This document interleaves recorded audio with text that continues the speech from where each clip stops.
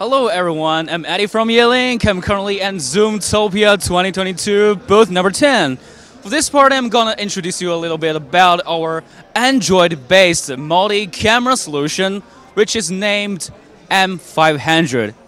As you can see here, we initially support three cameras. So on the TV, you can see that there are three different video stream over there and I believe will support more in the next year. And more importantly, this solution can support amazing AI functionalities, including auto framing, speaker tracking, as well as smart gallery.